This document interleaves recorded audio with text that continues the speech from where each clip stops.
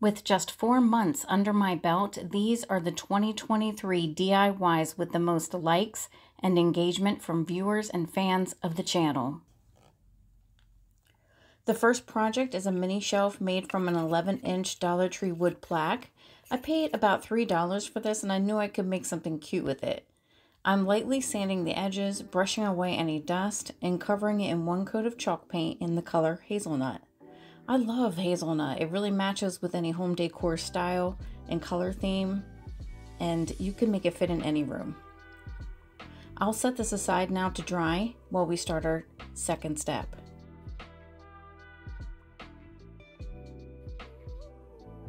I picked up these birchwood branches together in one pack at Hobby Lobby recently, and I'm going to choose the one that has the fewest curves in it. I'll take this into my shop now and cut off two pieces, each at 11 inches, the same width as our wood blank. Use whatever cutting tool you have and feel most comfortable with. These are not difficult to cut. Laying these out on the table, I'm trying to determine which way the two pieces will fit together without a gap between them.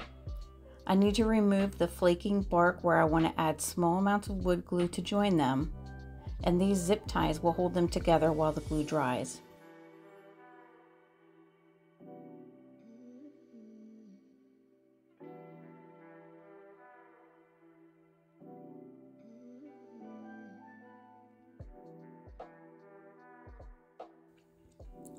This is a heat transfer that was designed to be used on a t-shirt, but I'll be applying it to our wood plaque. I don't need these words at the bottom, so I'm trimming them off and then using my tape measure to find the center of our wood piece.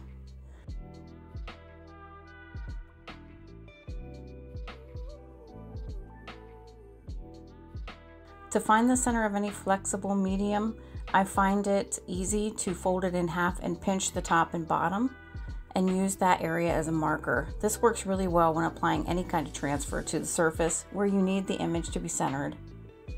I'll transfer this using a piece of parchment and a small crafting iron. Be sure to tape the transfer down so it doesn't move around while you're ironing. And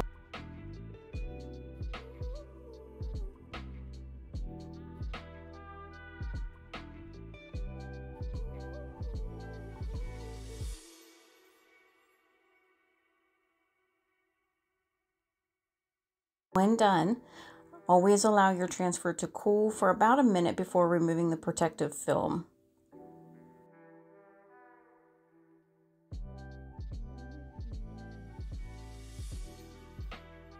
Look how beautiful she is. I'm using a flat, clear top coat by Rust-Oleum to seal and protect my work. Once it's dry, it's time to attach our birch logs.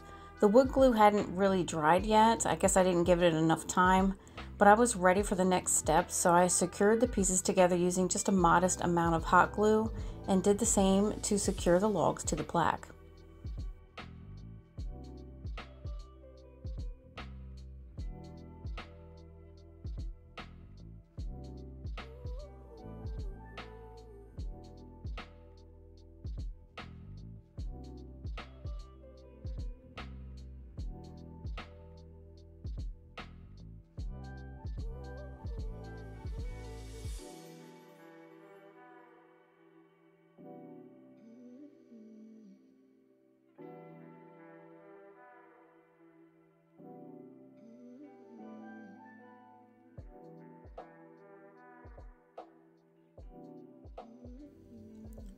I'm not real sure what these picks are, but they're beautiful and they came in a larger bunch. I picked up a Hobby Lobby and the stems were about 26 inches long before cutting them down for this project.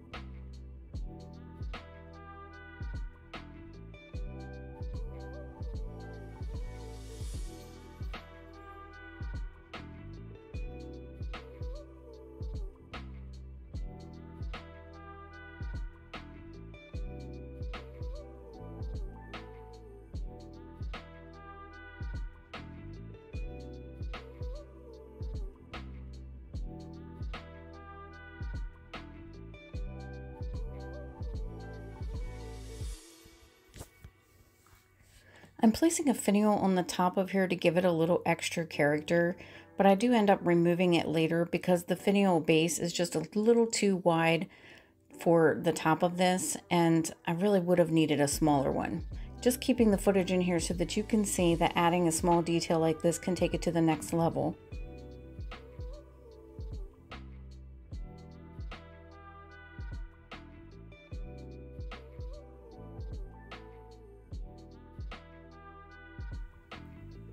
This is cute as it is, but I like a certain amount of detail on my projects. Using the right embellishment, I think, gives it a high-end look and makes it a well thought out gift if you choose to give it away.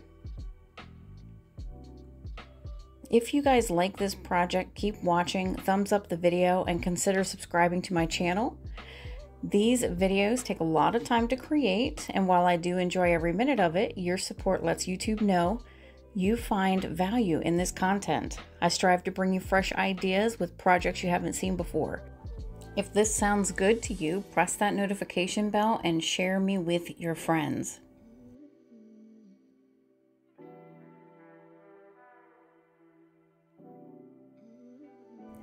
Moving on, I am making two tiny knots in a strand of jute to cover the mounting holes in this tiny tag. Never skip these finishing touches. It's what makes your work stand out from the rest.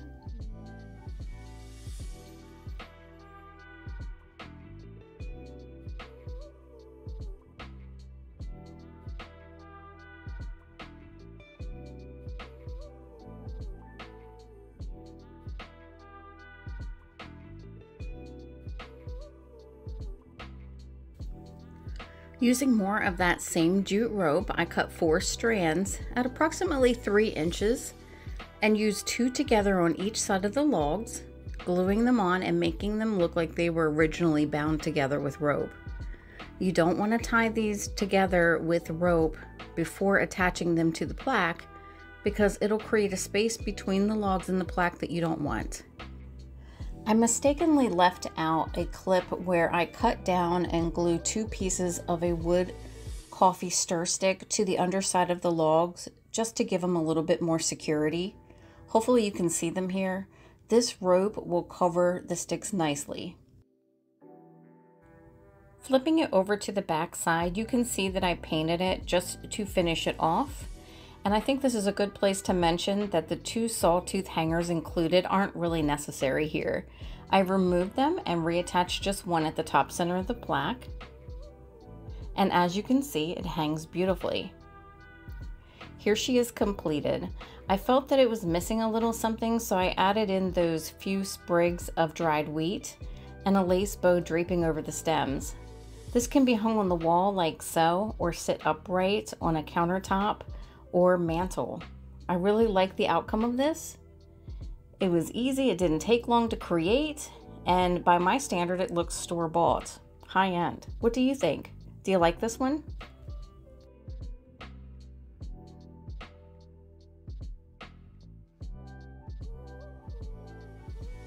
For the second project, we're making an embellished cylinder vase. We're using air dry clay and these three silicone molds. I've linked these down below for you should you want to recreate this project. To keep the video time to a minimum, I planned placement and prepared my clay embellishments off camera. I start by gluing one piece on at a time. There's no rush here, take your time. I'm using Dollar Tree wood glue super glue, but almost any glue will do the trick. A viewer recently shared that she uses Titebond Quick and Thick to glue her clay onto a surface. Now this glue will set you back a few more dollars, but I agree that it is a fantastic option.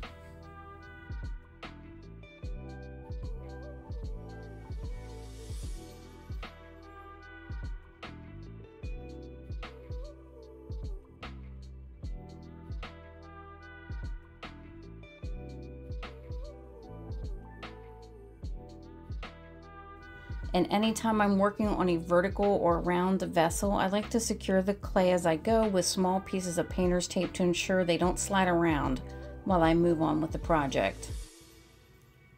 When piecing clay together, I lightly spritz the area with water and use a silicone tip tool to smooth out the seams.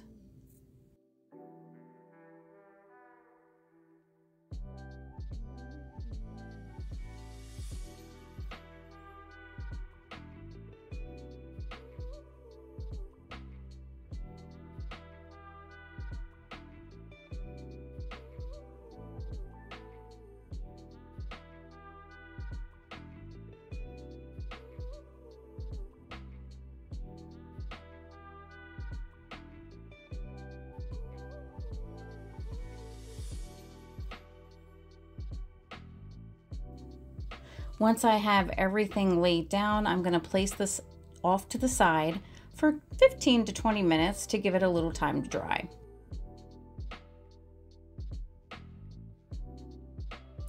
Coming back to the project, the glue is now dry. The clay is still wet, which is perfect for accepting paint.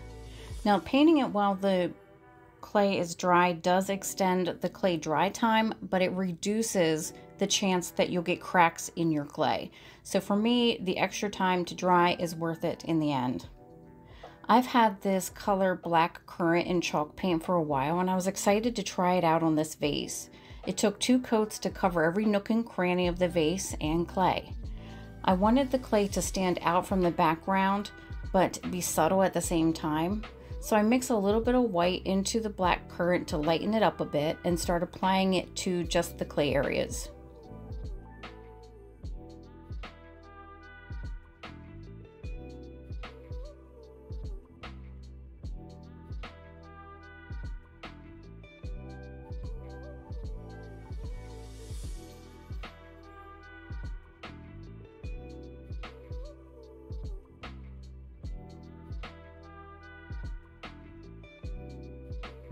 Lightly brush against the grain to bring out the details.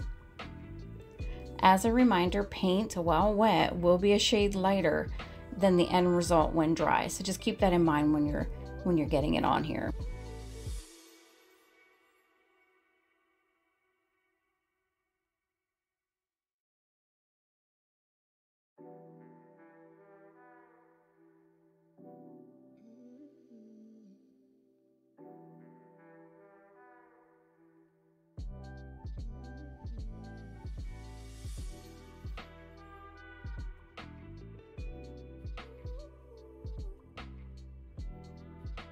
If you prefer a matte finish, seal your vase with a matte top coat after the clay has completely dried.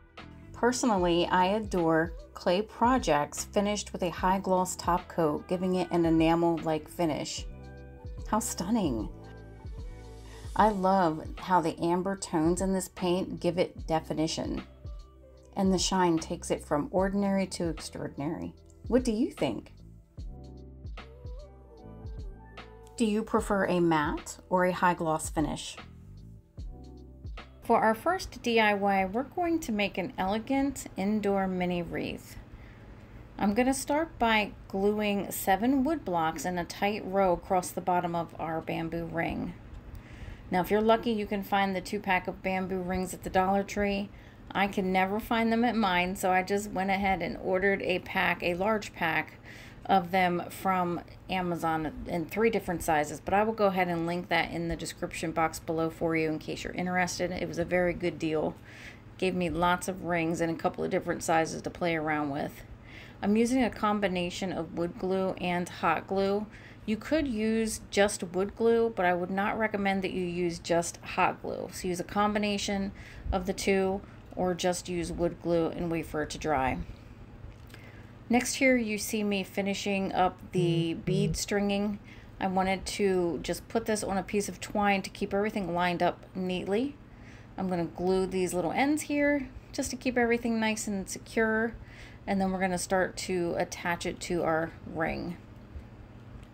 Very quick and easy process. Now I have chosen several different varieties of my dried flowers, preserved flowers in this bundle and I'm going to start to put them together the way it makes the most sense, what makes me happy. And you can see that it's very easy. Now when you're putting your, when you're choosing, I should say, when you're choosing your florals for this, if you're going with a natural look, make sure that the stems on your natural flowers are all the same color. Sometimes when you get these in different packs, you can end up with a few with, you know, blue stems or green stems. So if you see here, I've stuck with the natural theme. So we're just tucking a few other things in. I don't think you can see it here real well, but in the back I did glue another tumbling tower block just to keep those flowers there standing up for me. And now as we approach the end, you can see that this is just a strip of leather, pleather from the Dollar Tree. And um, it has a beautiful texture, and that's what I like about it. And right now I'm just kind of deciding if I want to fold these ends in or just leave them nice and raw here. And I've decided to leave them raw. This DIY is beautiful. And you can do different variations. You can paint everything here. Um, and then add dif different varieties of flowers different colors. You can add silk flowers, dried flowers, natural flowers like I'm doing.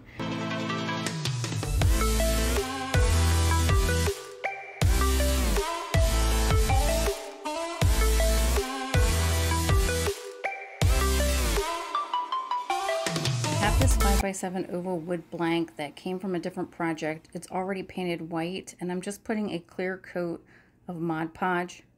Now the video that where I actually smoothed this napkin onto the oval is missing. I apologize. I don't know quite what happened to that. And we're going to get into the next step here. And this is just where I take out my air dry clay and I'm working it in my hands to make it nice and pliable, warming it up so that it goes into my mold nicely. Now this mold you can get on Amazon, but I found it for about half the price on Temu, and I'm going to link it below for you. I'm just pushing it in and I'm shaving off the top and the access, just giving it the little flat surface that it's going to need to adhere to our project. And so I'm going to start here by dusting once again with my cornstarch and just put a little bit of clay in this smaller swallow.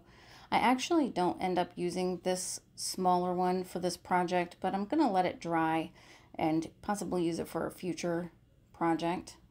But as you can see here, I'm just misting the clay while it's still wet with a little bit of water. And I'm just going to make sure that it has just a very, very light coat of water over everything. And this is just going to help prevent it from drying out too fast. And while this clay is still wet, we're going to start painting. Here you see me just doing again a very light coat of a robin's egg blue. And then I'm going to in a moment start to just kind of blend in some of the darker blue, which I believe is just titled Bright Blue. And these colors are by Craftsmart. On my palette there, I also have just some white acrylic paint as well. And that's just going to help me lighten things up, add light tones as I go, and kind of make everything blend nicely. And you'll see over the next few seconds here that I'm just doing what I do. Swallows are typically blue on the top and a white or a darker gray on the bottom. So it doesn't have to be perfect. It doesn't have to look identical to an actual swallow. But I think this blue is going to really go nicely with our project. And these shades that I picked will give us a nice ombre effect as well.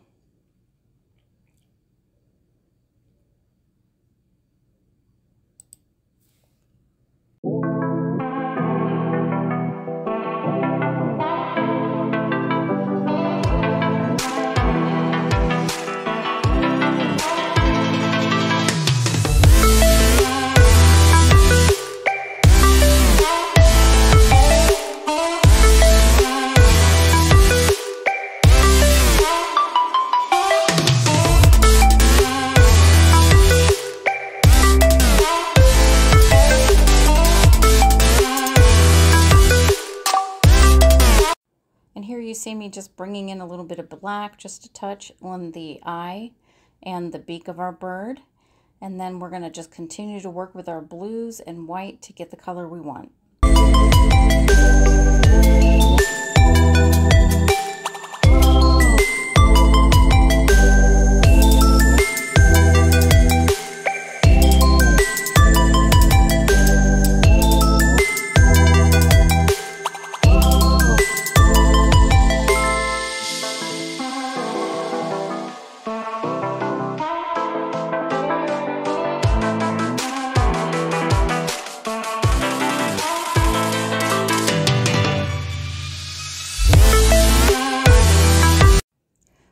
Had my bird looking the way I wanted to have it, I did set this aside overnight and came back in the morning to finish the project.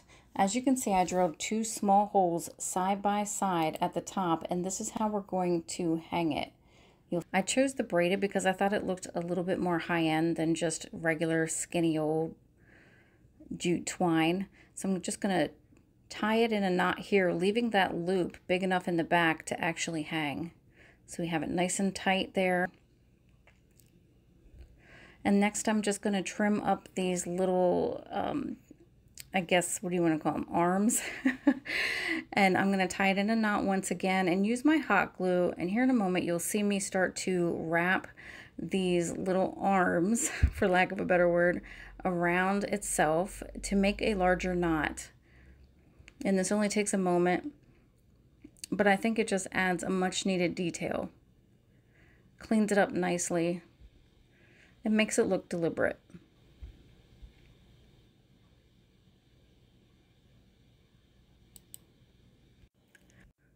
Now I also want to add that while I was off camera, I painted the edges of this um, oval just to give it more of a, I guess, natural wood edge look. Now the back of this project is looking a little ragged because I had attempted originally to put the napkin on this side, messed it up and started to scrape it off. So here I'm just going to fix it by coating it up with a nice coat of white acrylic paint. And here we are at the end, the final reveal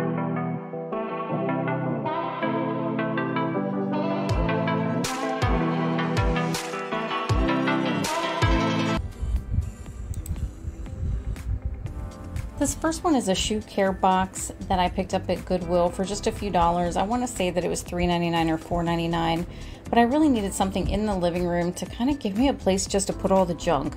The cat hair brush, extra remote controls, um, the cat hair cleanup tool, whatever else, um, phone chargers, whatever else I could find to put in there just to kind of clean things up and have a nice elegant place to store them out of sight.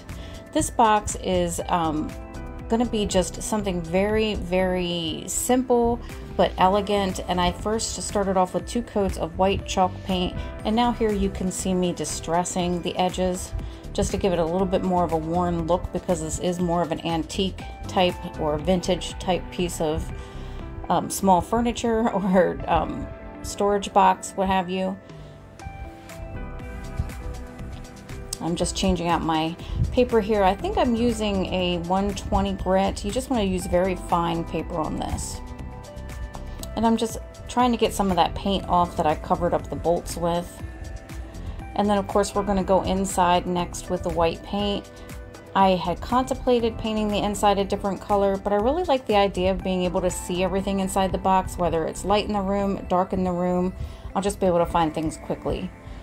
And then next I'm going to use some spackle from the Dollar Tree. You can also pick this up at Walmart. Very inexpensive, of course, at Walmart. And then a buck 25 at Dollar Tree. And I'm just going to go over the stencil, trying to make everything very smooth, trying to eliminate any kind of texture on the surface. And this does take a few minutes just to work it into the stencil.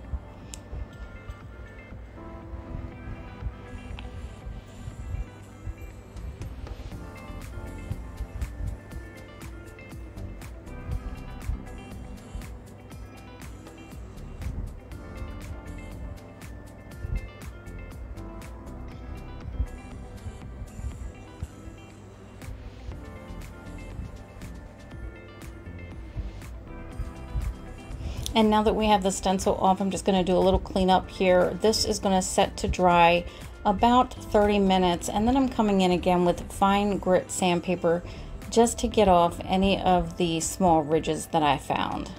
And I know you can't see me here, but I'm blowing on it to get the dust to go bye-bye. And I'm um, gonna go in with some more of the same white chalk paint.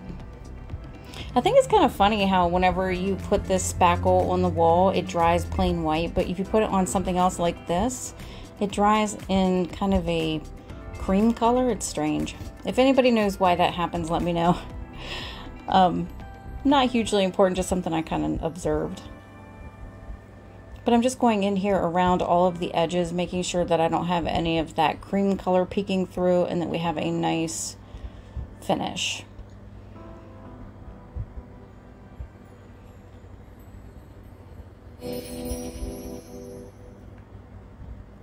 And I'm going to set this aside for, again, 10-15 minutes to dry. You can certainly use your heat gun before I come back in with some gold leaf rub and buff.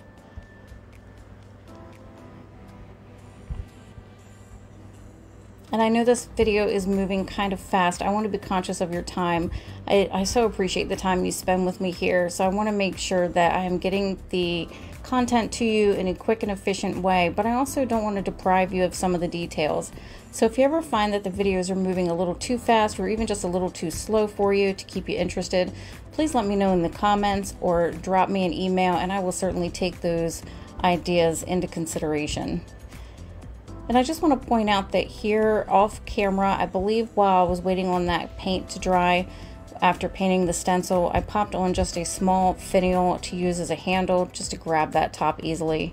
And I put a little rub and buff on there too. The rub and buff doesn't take very long to dry, it's almost instant. So now I'm just going to go in and slightly dry brush on some white so that we just really have that pink rub and buff, pink, gold rub and buff sneaking through.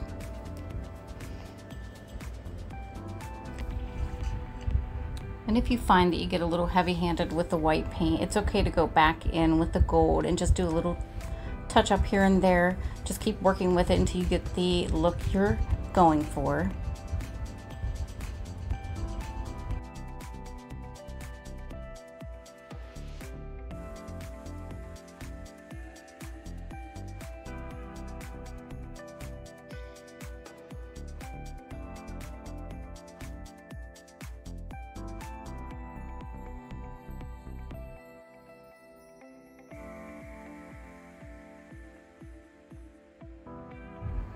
And so now I'm just going to touch up the hardware on the box with the rub and buff, the bolts on the side, including the latch on the front.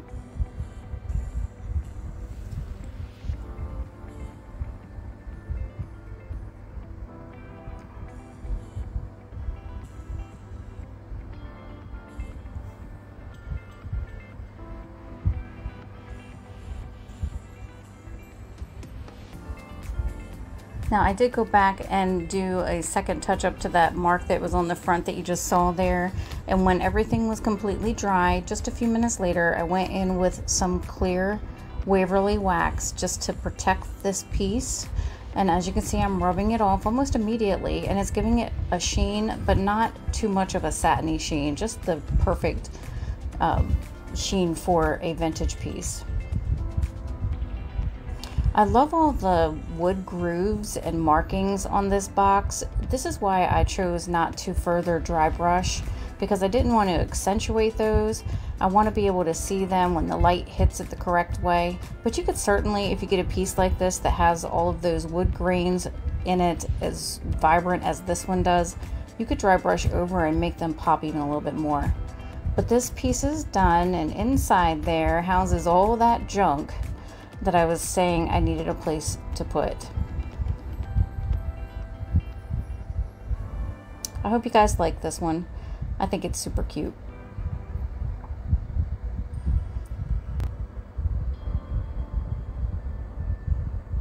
I found this little votive lantern at Goodwill browsing the aisles. It was kind of hidden back there, and I thought, wow, this thing wants to come home with me.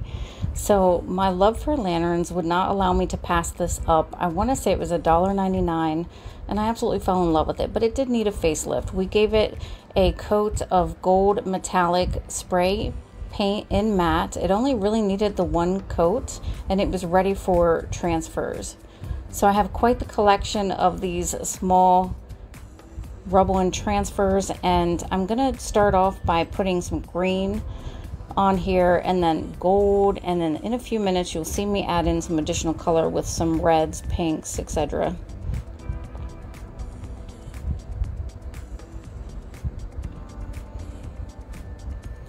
I don't plan to use this lantern to hold a votive, although in playing back this video, I realized that there's a votive candle in there. I remember after it was painted, I just popped one in to see what it would look like through the little um, shade that's built in and apparently never removed it. So disregard that because that's going away and we're going to put some beautiful dried flowers in its place and make this just a nice little cute vessel for some dried flowers for fall.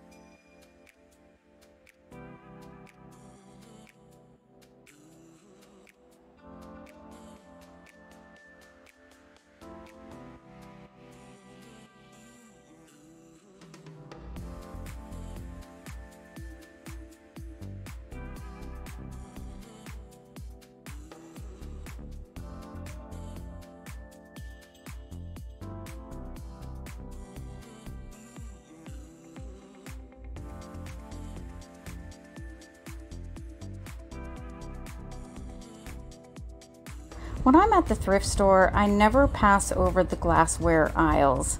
As common or as ordinary as many of the items can seem, I can almost always find a little gem.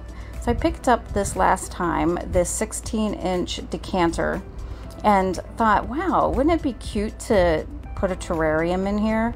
Now, I've made terrariums in the past, but never anything in this small of an opening.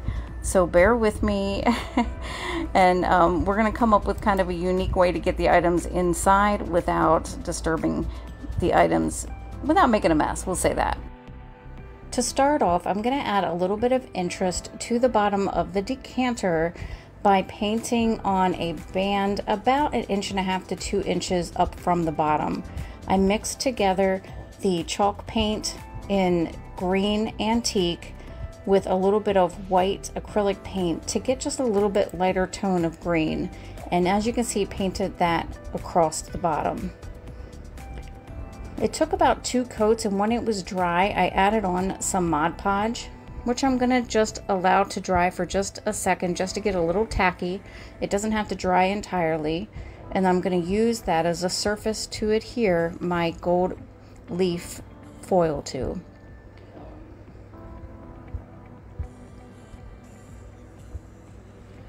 So I'm just gonna quickly rub some of this on and there's going to be just a hint of gold here when we're done. Not a whole lot, just a nice little hint.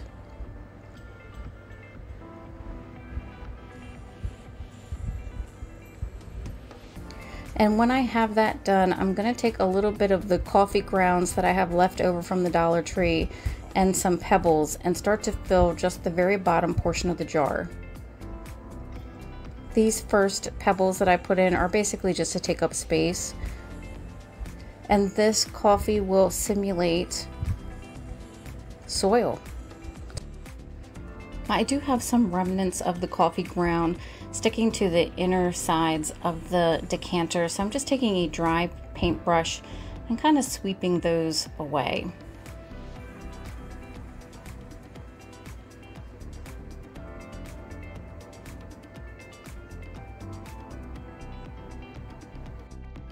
In preparation for this craft, I went into my potpourri, faux, and dried flower stash and pulled out a couple of interesting pieces that I'm going to try to incorporate into this terrarium along with some moss.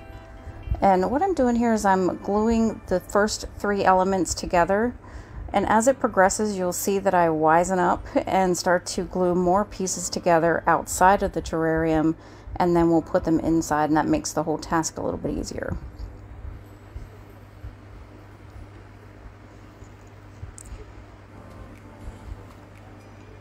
So here's where I start to build another one of the elements. I'm just attaching a little bit of faux moss. Actually, I don't even think that's faux. That's real moss.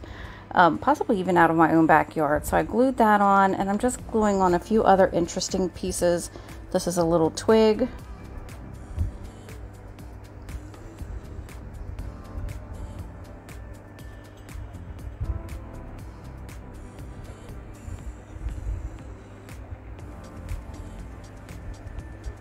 I have this cute little bird that I pulled off of another craft. So you saw me there getting the hot glue off from the previous project and we're just popping it on there just to add a little bit more detail.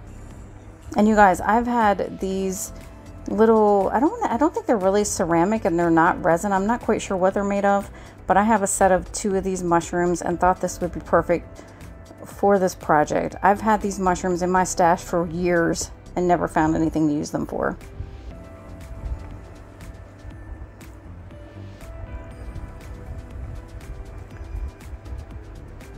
So I went to get a piece of black felt so I could put it behind here. Hopefully it makes it a little bit easier for you to see. Now here's where I make a mess. I know from past that if you mist the moss that has dried up, if you mist it, it makes it a little bit more pliable. But boy, did I make a mess there on my table. So I hope that's not too much of a distraction. And we'll just keep going.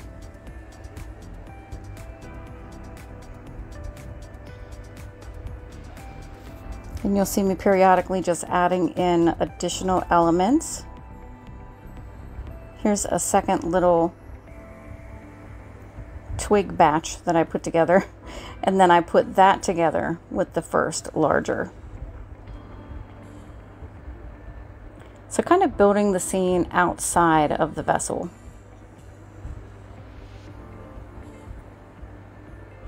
And here are these three initial leaves that I had put in and pulled back out. And I'm just going to go ahead and glue them to the back of the other set that I made. This will offer a little bit of stability and also make sure that everything's placed exactly the way I want it to be.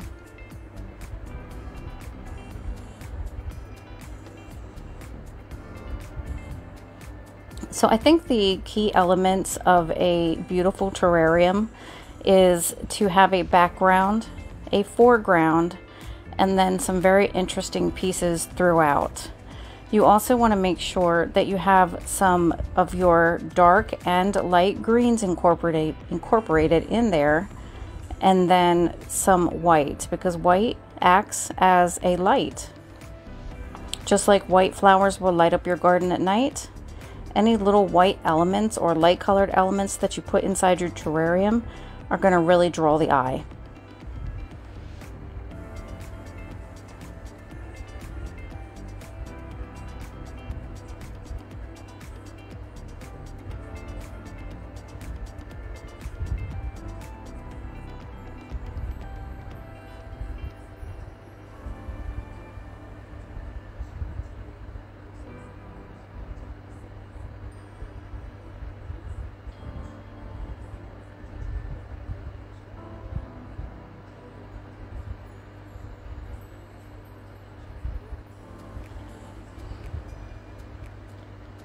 This is so cute. This came off of my clematis. So when the bloom had fallen apart, that little fuzzy piece was left. And I picked it off. I picked off several and put them in terrariums. They're so cute.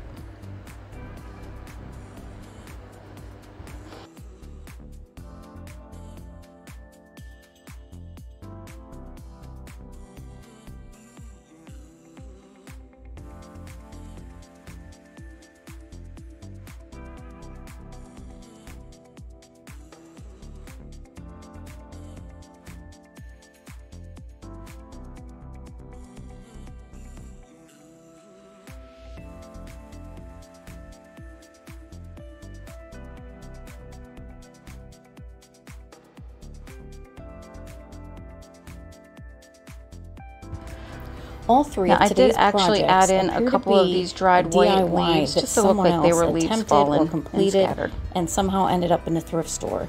So we're going to take them one by one and make improvements while still appreciating what was originally done. This first one appears to be two smaller chest of drawers that were glued together, one on top of the other.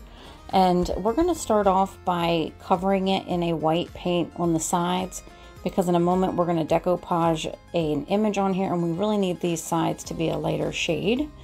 So that's what you're going to see me do here quickly is just put on one coat of the Waverly Inspirations chalk paint in white. Any light color here will do. We're just trying to cover up that dark. And after we've set that aside to dry for about 15 minutes, I'm going in on the sides and the top with a little bit of Mod Podge. And next preparing my napkin. This is a two ply napkin. I'll have it linked down below for you. And I'm going to cover the sides and top with this.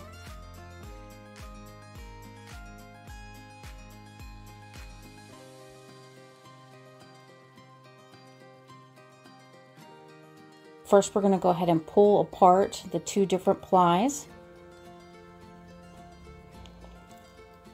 Now I let the Mod Podge dry here for about five minutes before I placed the napkin on top of it and using an iron to flatten it out. The idea of having parchment paper between the paper and the iron is just so that you don't get any nasties, any dirt, any glue on your iron. So this is very easy. If you've never tried the ironing method, you should. I've done this with large and small projects, and it really eliminates any opportunity for those wrinkles to come in. Even the texture that you find in decorative napkins is ironed out. And if you've worked with napkins before, or even just run to your kitchen right now and look at a paper napkin you have, you'll see that it has tiny, tiny little dimples over it. And the ironing method pulls those out without ripping the paper. And now I'm just kind of getting the overhang off there. And we're going to go right in here now and start to paint the face of the drawers. So when we started, it was just white paint with a black little handle. This is the color Celery. And then I'm going in with just a little bit of white paint, dry brushing that on. This is a really quick project. You could probably do this in under an hour.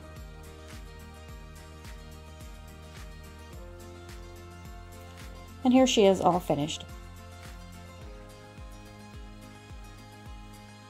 Now I know that this is more of a spring look and feel, and I want to tell you that I will not be held captive by the season when it comes to my creativity, and you shouldn't be either.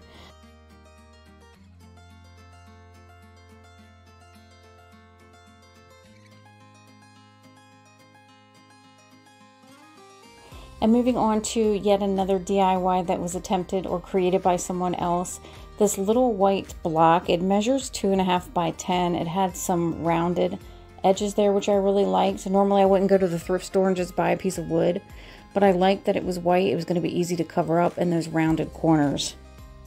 It had a little cat drawn on there in, I believe, Sharpie marker and then the word catitude, which I thought was cute. But um, we're going to make it something else. I'm covering this in chalk paint. The color is moss And as I'm just measuring so that I can drill evenly spaced holes with the tiniest drill bit I could find in the top of this.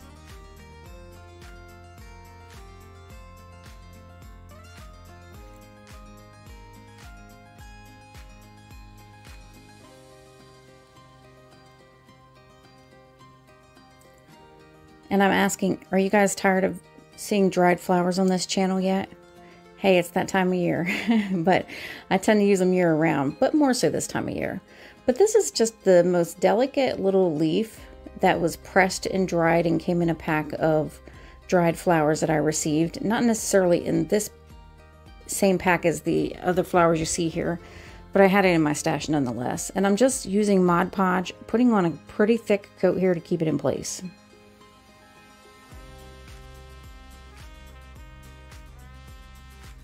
And then I'm just going to cover the rest of the face of the block so that it doesn't look odd having just some of it covered. So when choosing and preparing my flowers to go into these tiny holes, I made sure to choose a variety of dried flowers that not only went well together, but kind of matched my mood. There are a couple of different varieties here just to keep the interest going and I have two of each variety that I chose. And of those little sets of two, they're all cut at the same length, stem length. Um, you'll see me trimming here a little bit to just maneuver them, but I think that trimming them at the same length for each variety is what's going to allow them to kind of sit perfectly in there at the same height. If you enjoyed this video and the projects we're creating, give me a thumbs up so that I know you like them. This helps me know that I'm going in the right direction. We're going to go ahead and continue with the project, but before we do, take a moment, subscribe to the channel, like the video, comment, and share. If you know somebody else who would enjoy this, share me with them. They will appreciate it. The best part about this DIY is that these dried flowers aren't glued in place. So when the season does change, in the spring maybe, if you wanted to put some pinks or yellows or blues in here, you can. You can totally do that. And I can see this on a much larger scale as well. How about a very long one of these running across your mantel or down the center of your dining room table? Oh my gosh, the vision is there and the possibilities are endless. Let me know in the comments if you would like to see me make this on a larger scale.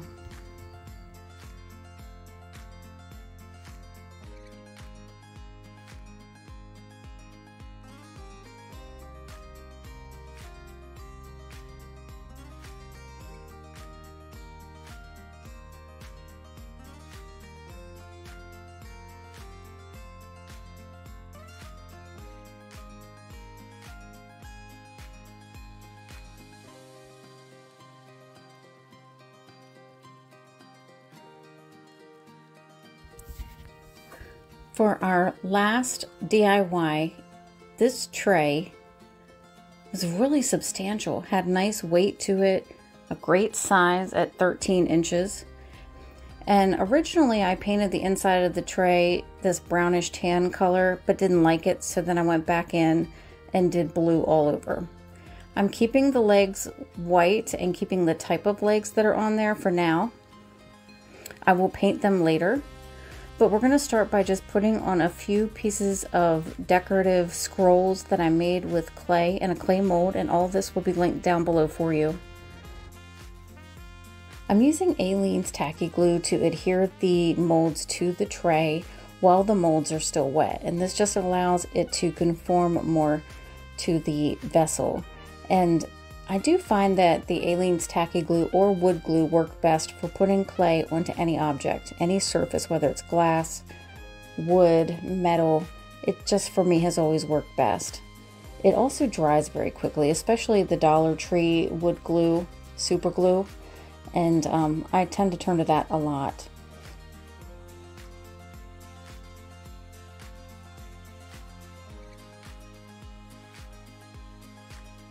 I'm to line the bottom of the tray with a pretty pattern and I pulled a sheet from the Amanda 12 inch paper pack from Hobby Lobby. Now they don't sell this online so I couldn't grab you a link but again the name of it is Amanda you don't have to line the bottom of the tray. I just wanted to give it a little bit more of a color pop. And I was just trying to be a little creative there using the small Dixie cup to round the edges and holding them up to make sure that they are even. And now we're going to pop it in here, apply our Mod Podge, and get it down.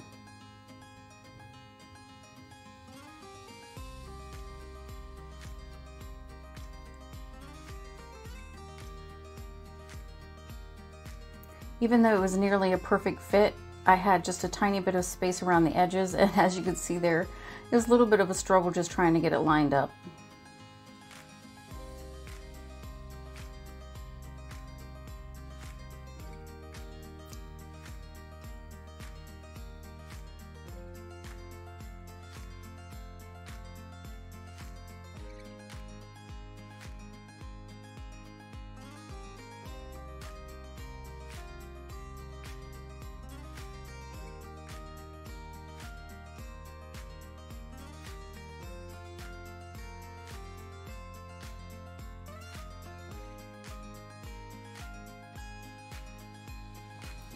And here I'm just going back in with the same Admiral Blue acrylic paint and covering these scrolls. As you can see, I painted the legs in the antiquing wax off camera.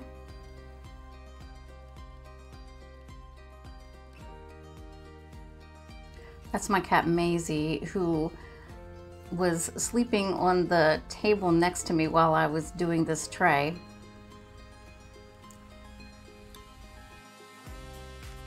My cats love to be up my butt all the time, so you'll see them periodically pop in on videos.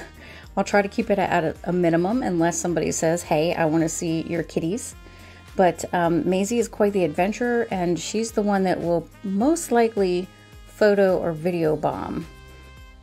To finish this tray off, I used some antique rubbing buff by just rubbing a little bit on the legs, a little around the edges of the tray to distress it, and then really used it to accentuate the details a simple bookend in the, the scrolls that we put on and here. And immediately thought I could turn this into I a absolutely So that's what we're going to do. The turnout of this tray and how it looks on the table in front of my sofa. I think these are 18 millimeter half beads that I'm placing here on the bottom but this is just to give it a little interest.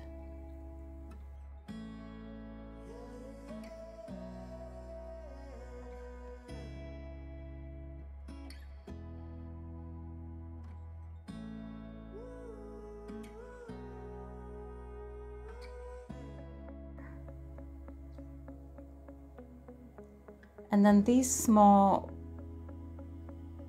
I don't know what these are called. Do you guys know what these are called?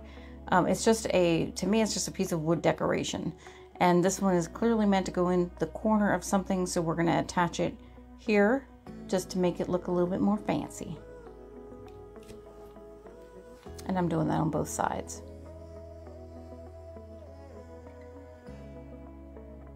You can definitely use wood glue if you like.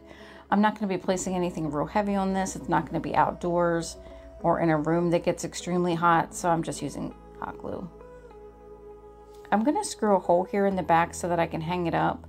And I actually end up screwing another one off camera later at the bottom there. That way I could use this in either direction. So doing it that way, I can use it with the small half circle there facing up or turn it around and have it facing down.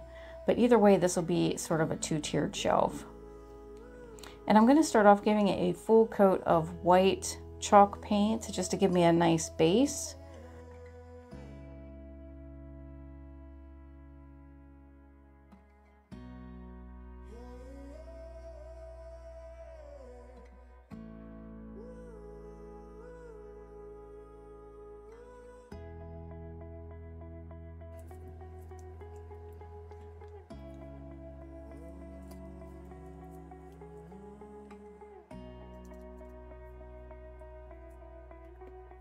That white paint has dried and it's time to add a little bit of dimension. So I'm using my antiquing wax and white paint and just misting that with a little bit of water to make it easier to spread. And first just putting on a very light coat. So we're just gonna work it in all the little nooks and crannies of these details. I'm gonna lay down a little bit thicker, darker coat there on the details so that the dark um, wax settles into those nooks. And we're going to finish it off after that coat is dried with just a simple dry brush of white paint. And that's going to make those details pop a little more. And when you're making something look like wood, these two colors, the white and the antiquing wax, or you can use a brown of your choice, light or dark, depending on what you're going for, and water it down a bit. This is the technique you use to make sure that everything blends beautifully and um, just keep working with it until you get that wood look that you're going for.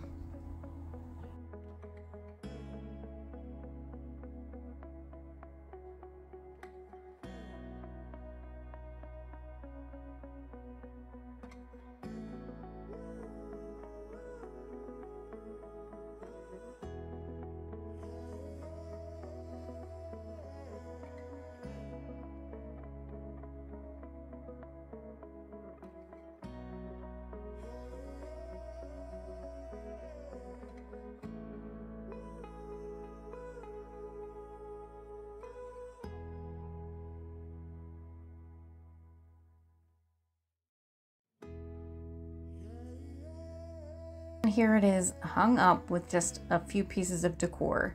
Let me know what you think. If you like what you see in this video, go ahead and subscribe, give me a thumbs up. This is your stamp of approval. And when YouTube sees it, it helps this channel and its content grow.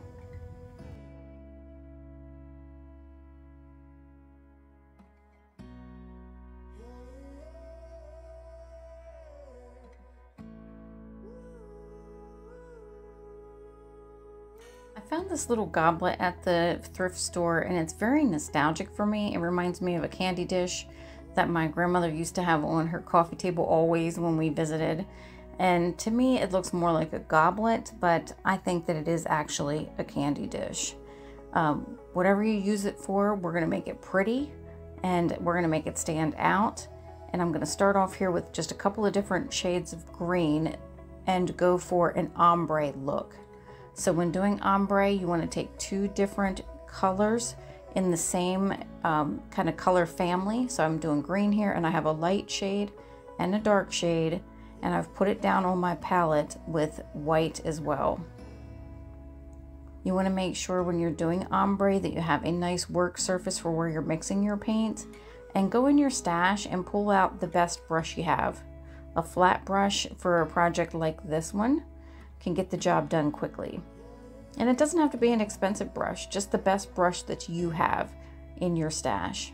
We're using enamel paint. You can use acrylic paint. I would not recommend chalk paint for this because it just doesn't blend as well and it can get a little cakey on glass.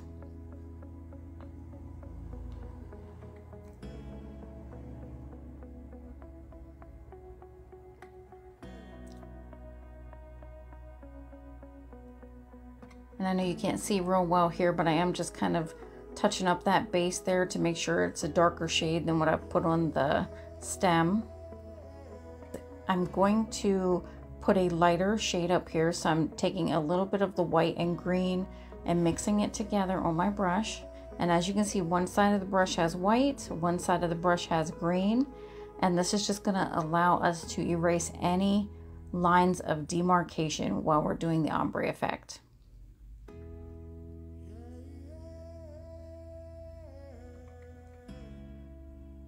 And this is just another paint project that you work with until you have it the way you like it.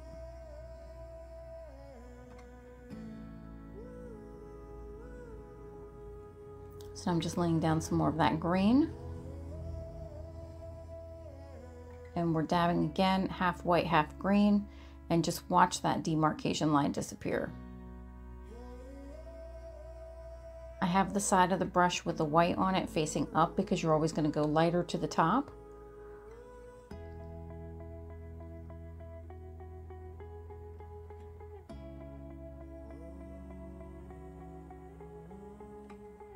I chose green for this one because I love to bring the outdoors in and I also wanted something that I could draw some color into my room and really be something that I could keep out year round. I have two questions at this point. Do you like this one? And are you still awake? I hope so because we have one more left and it is by far my favorite. If you thrift shop on a Monday or Tuesday, then you know that you typically on these days find not only a better variety, but much nicer items because it just hasn't spent the week on the shelf being overpicked.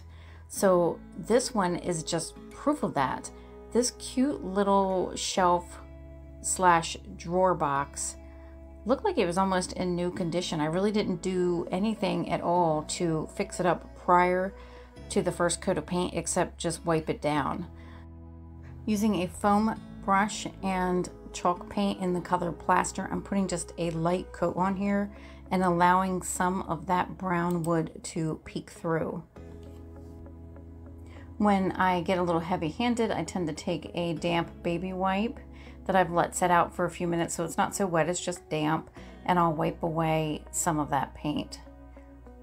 And we're going to go in on all sides. So this will hang on the wall and people may actually see the underside of it. So we want to make sure that we're completing it all the way around.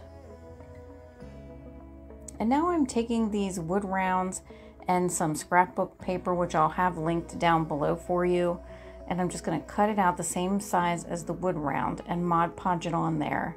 And this is going to give us a little bit of decoration on the sides of the box.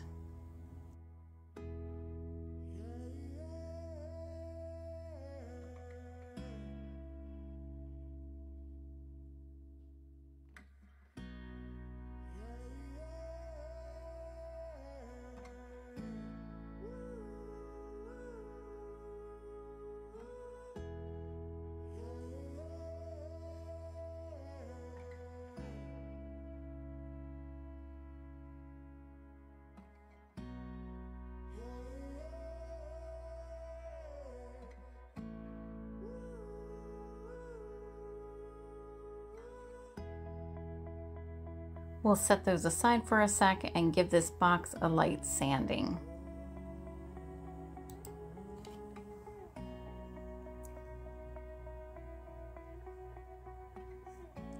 Woo, look at that. Look at that beautiful color shining through.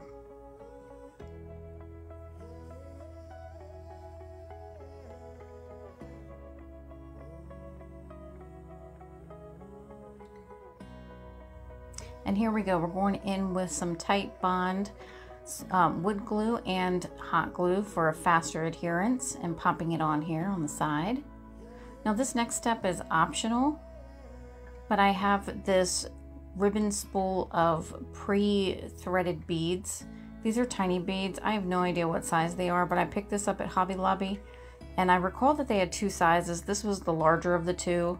After doing this project, I almost wish that I had picked up the smaller and put that on the side. But this is still very pretty. And you'll see here that I'm just going to touch up the edges of these, I guess the fronts of these beads with a little bit of white or the plaster chalk paint again, just to make it all cohesive.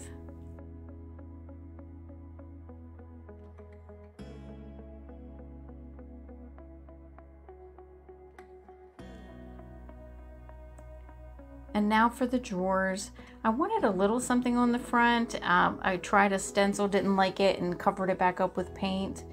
And decided to pull out more of these pressed flower leaves. So I'm Mod Podging them on here. Pretty thick coat of Mod Podge to make sure they stay because these are real leaves. They're very delicate and I didn't want any part of them breaking off. So nice thick coat on the wood and then another nice thick coat over top of the leaves.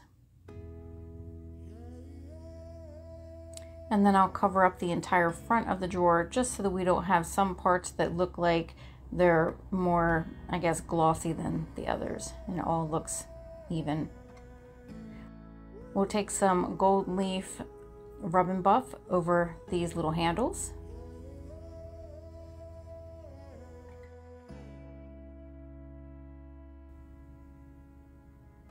And then finally, once everything is dry, I'm going to go in with some clear wax and just make sure that this puppy is protected.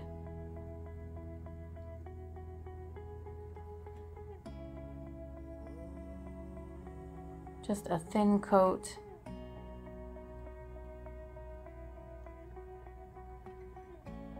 And here we are with the finished product. How cute is this to hang by the door just to toss your keys? Maybe throw a couple of, um, you know, business cards in there, post stamps. Do people still mail stuff? It's been a long time since I have. But you get the idea. But look at that wood grain peeking through because we did that light sanding. The first piece is similar to a so bread pretty. box, but I, I think it might actually be a bagel box. I've never seen one of these before, but I thought it was fantastic. I love all sorts of bread boxes, and I've flipped many of them in the past. So we're going to jump right in here. Please do let me know in the comments if you've seen one of these before and if you know what it is. So we're going to start by giving a good sanding and a wipe down. There are some raised edges here and some rough edges that I'm just trying to eliminate.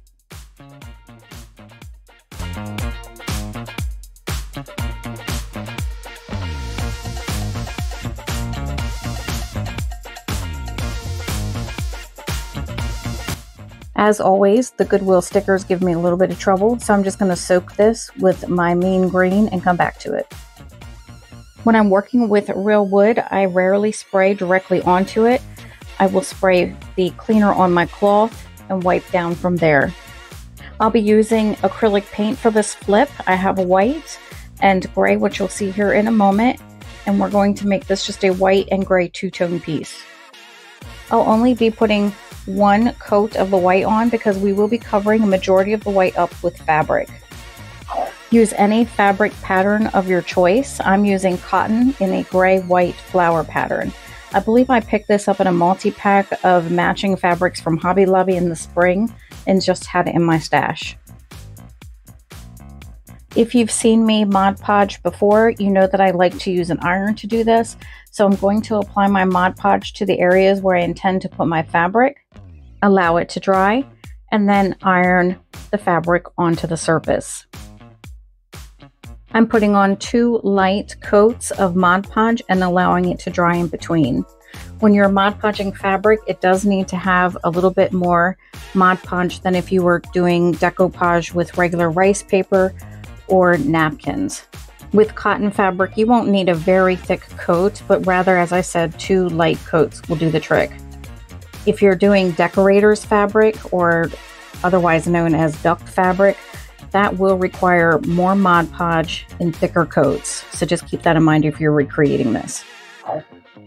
This is a craft iron, so I don't even think it has a steam feature, but if you're using a regular everyday iron, you don't need to use the steam feature. In fact, I would empty out any water that's in the iron before doing this and just put it on the setting for whichever type of fabric you're using. If you're using cotton, set it to cotton, linen, set it to linen, etc. While I am not usually a fan of Mod Podging over a design that I am placing onto any surface, fabric is the exception. If you don't Mod Podge over it, it will feel like fabric to the touch. Adding the top layer, adding multiple top layers, and you'll see here as we go how we do that, is going to make this look and feel like it's actually painted onto the surface. You won't be able to touch it and feel fuzzies or any kind of soft surface. I'm applying two coats of Mod Podge over the fabric, allowing each coat to dry in between.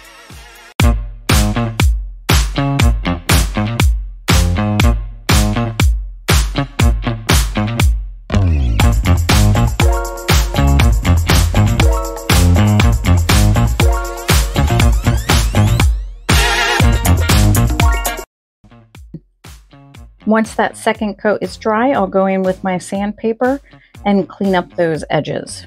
Pay very close attention when you're sanding off the excess fabric because it will create tiny frayed edges and you want to make sure that all that fraying is removed with the sandpaper. It will be noticeable if it's not removed. So just take your time.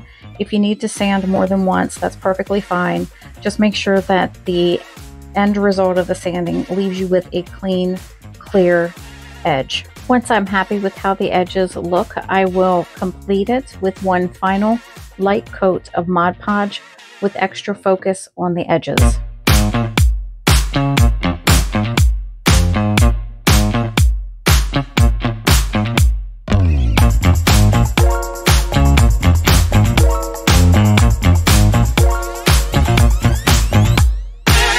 And now I'm just touching up the white paint that I accidentally sanded off.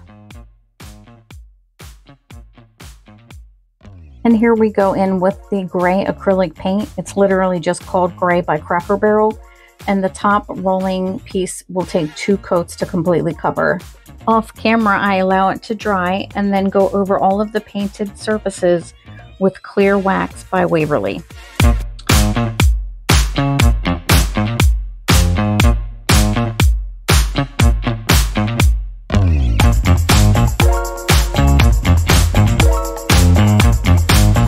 And here it is finished and ready for whatever you want to use this for. I think it would be great in the bathroom or on top of your vanity to store cosmetics. You could turn this into a charging station. You could drill a hole in the back for your cords to slip through. And of course, you can use it in the kitchen where it was originally meant to be used. I hope you like this one. Let me know what you think.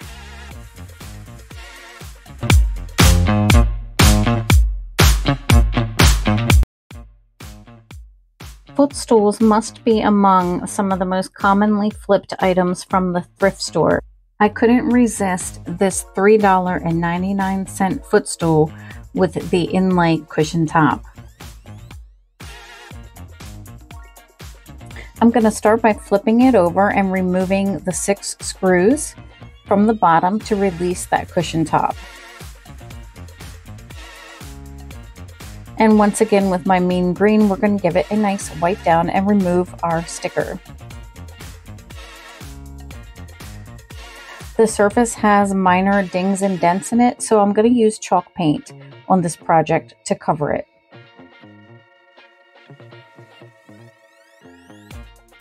The sanding is not always necessary when you are using chalk paint, but because this is an item I expect will get a fair amount of use, I want to just be extra careful to make sure that the paint job I give it is protected. So I'll sand it down to make sure we have a nice adhesion of the paint. I'm using Night Sky by Waverly. This is a beautiful color. If I had to explain it, I would say that it's a bluish gray. Kind of a navy blue and gray.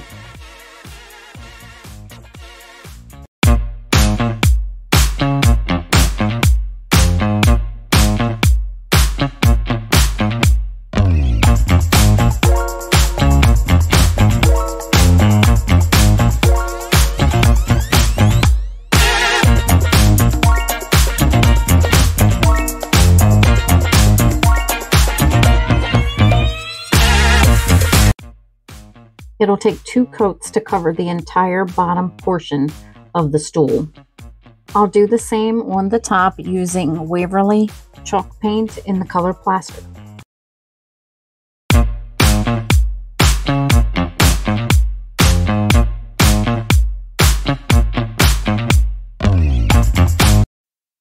Now that the paint is drying, we will move on to the top, which I think is the fun part. And there were a ton of staples in this thing. I mean, really, who needs that many staples? But nonetheless, when we pull it off, the top is perfect. I was expecting to see maybe some stains there I'd have to clean out, but it was in absolute great condition. This is decorator's fabric left over from curtains that I made last year, so I'm going to use it on the top of this stool and I'm using two separate pieces so that I can create a pocket on the top of the stool.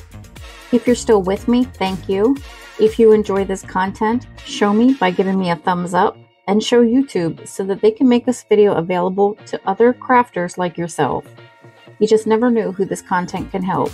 And if you're not already subscribed, consider doing so. Come back and see more projects just like this. Everyone is welcome, and I appreciate every single one of you for being here. I'm pinning the fabric where I intend to sew and taking it over to the sewing machine. I'm going to make a straight stitch all the way down to seal that edge.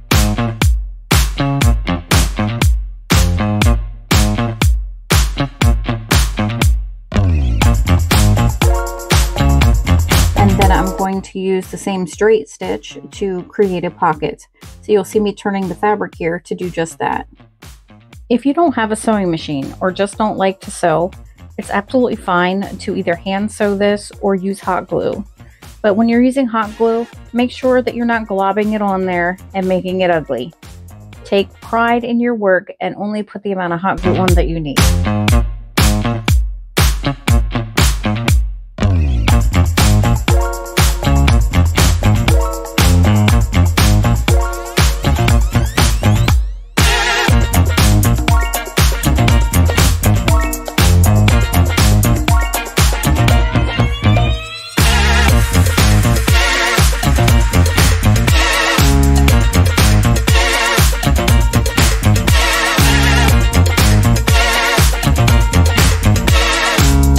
And now I'm just going to wrap the base of the stool with the fabric and staple it down. And because I don't want to be able to flip the stool over and see the bare wood, I'm going to use my pinking shears to cut out another piece of the fabric and cover that bottom up. And I'll adhere this to the bottom with hot glue.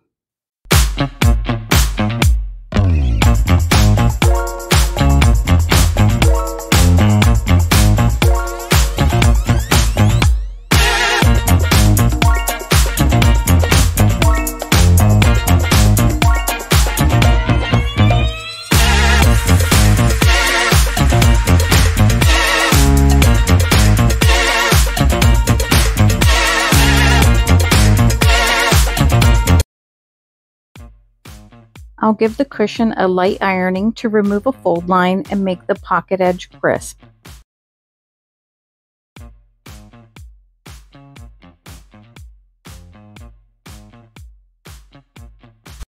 I wanted to add something a little different to the sides of the stool and went to this paper pack from Michaels. I picked this up, I believe, late last year, and I'm just going to take two sheets of the same and cut out this little flower square.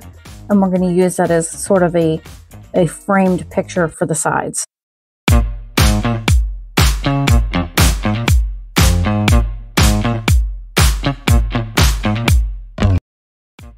When I cut it out, I leave a little bit of a white edge showing, which we will cover up in just a moment. And now I'm going to create a wooden frame for our little picture. You can use some of these skinny sticks from Walmart that come in an inexpensive pack. I think it's a dollar or two dollars maybe.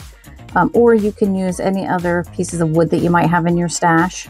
And I'm going to create a mitered edge.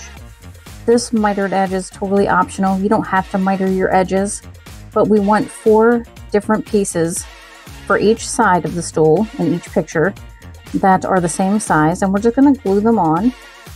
I think the mitered edge gives it a more professional look, but it is optional. And I'm going to combine wood glue with some hot glue to stick this to the side. Oh, and by the way, I did actually paint the wood frame with white paint before gluing it together. And now that I have one of those on each side, we are done and it's time to put our top back on. So I flip it over and the screws that originally came in this were rusty. So I dug into my stash and found similar size and I'm replacing them with nice shiny new screws.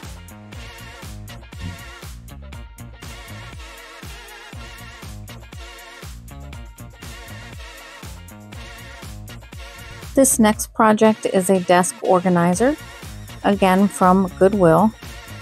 And as you can see, I paid a mere $1.99 for what is an obviously brand new, unfinished product, Goodwill.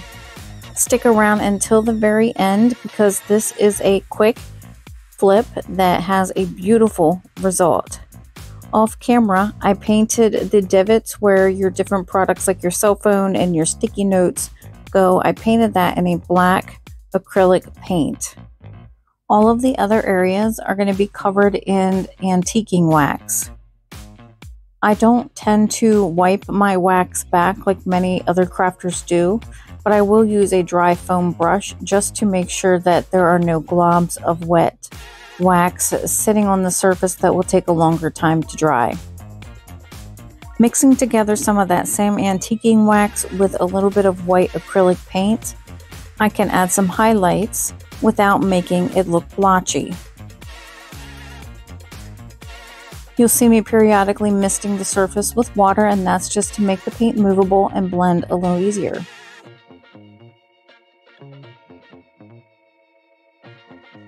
I set this aside to dry for about an hour and then came back to add some stickers.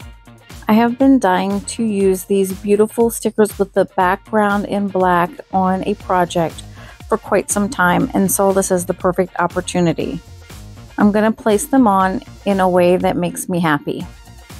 These stickers came out of a spiral notebook of stickers from Hobby Lobby. I don't have footage of this, but when the stickers were in place, I covered all of the black areas, including the stickers, with Mod Podge, and you literally cannot tell that they are stickers. Here is our completed thrift flip, and a final look back at all of the before and afters of our projects today. I really do hope that you enjoyed these as much as I did making them.